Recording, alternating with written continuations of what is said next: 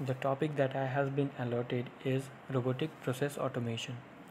First of all, I'd like to tell about the motivation behind robotic process automation. Uh, the main motivation of RPA we can say is uh, for shortage of IT resources, which leads to business um, department to build things on their own. That is, it makes business department independent of IT resources. The second thing is what is RPA? RPA uh, is an acronym for robotic process automation. The, uh, their main work is to imitate humans. That means they copy human works.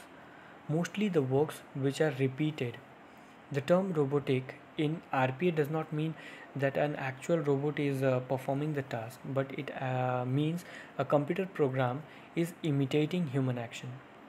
We can take uh, chatbot as an example of RPA. This chatbots are um, we have often seen uh, Natasha in Hike as a chatbot that works on RPA.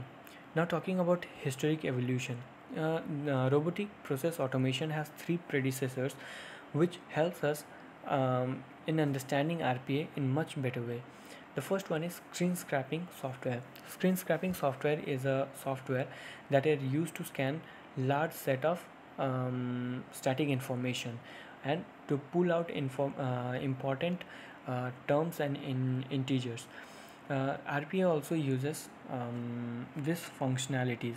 For example, the digital scanners that we use and the second one is workflow automation and management tool. Workflow um, automation and management tool are uh, the tools um, which helps in auto filling the data now auto filling in data like uh, um, if we want to sign in in some software or um, website we need to provide them with some uh, or information. And, and the next time when we try to log in we don't have to give any uh, data. They are auto filled by with the help of RPM. Now, artificial intelligence is um, uh, is the capability of the computer to perform tasks that actually needs human in intelligence or involvement. Artificial intelligence is nowadays used a lot in technology field. Um, we can take an example of Sophia the robot uh, which is completely based on artificial intelligence. Now talking about the features uh, of robotic process automation.